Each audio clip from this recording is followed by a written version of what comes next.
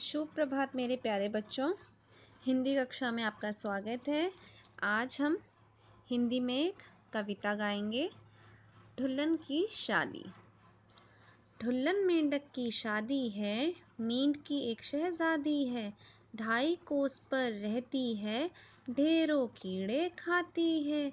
ढुल्लन की विवाह, ढुल्लन के विवाह में ढोल मंजीरा बाजे रे। ढुल्लन दूल्हा डाल लगाए ढक्कन सिर पे डाले रे। सो so, ये आपकी कविता है ढुल्लन की शादी। ढुल्लन एक मेंढक है। मेंढकी एक शहजादी है उसमें जिससे वो शादी कर रहा है वो एक मेंढकी है।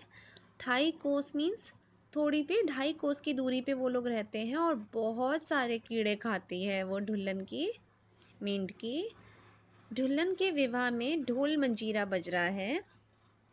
ये देखिए, ये चूहे ढोल मंजीरा। ये ढोल, ये मंजीरा बजा रहे हैं।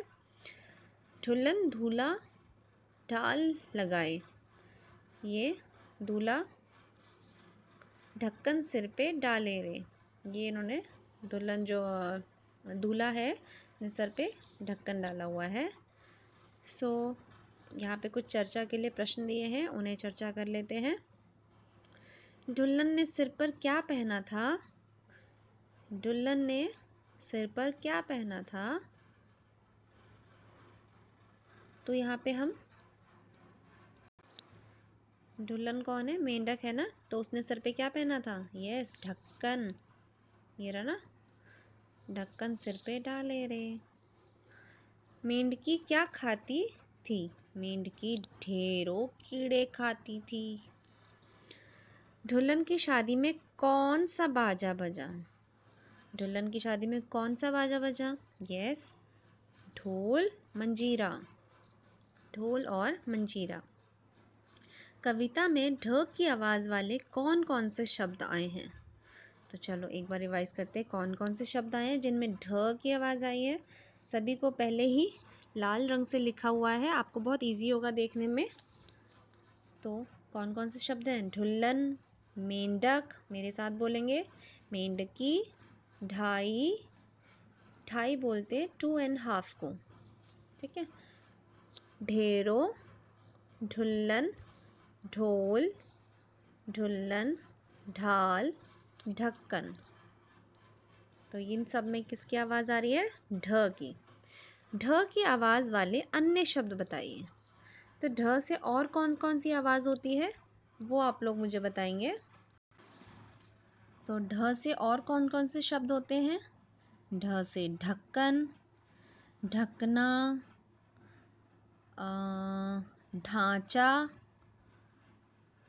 और ढाई हमने पढ़ा, ढाबा, ढिंढोरा, ढीला ढूंढना ढोंगी।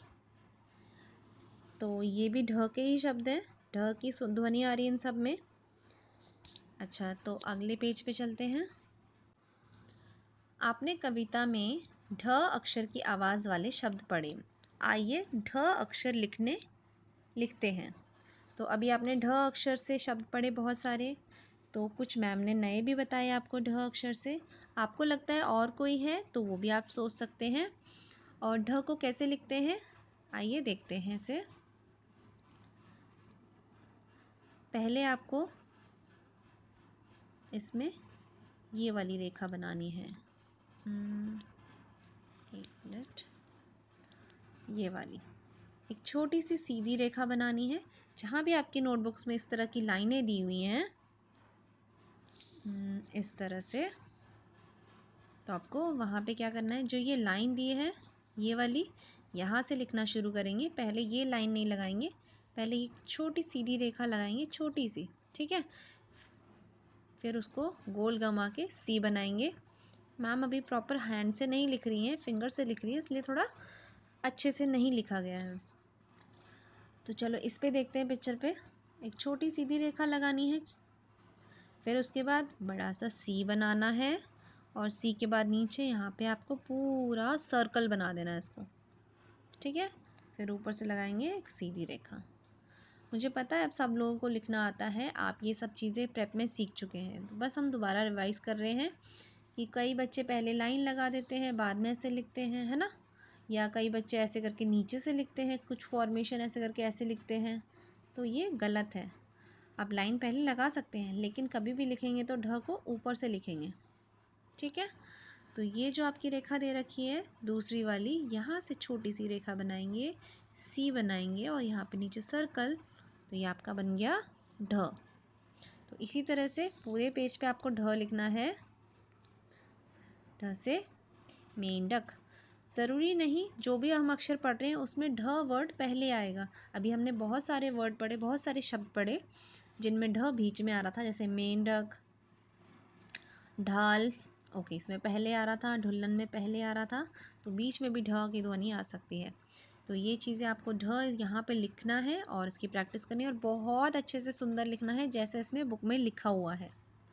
तो इसी तरह से सब लाइन्स में लिखना है आपको ये, और हिंदी का काम आज का आपका इतना ही है। तब तक बाय बाय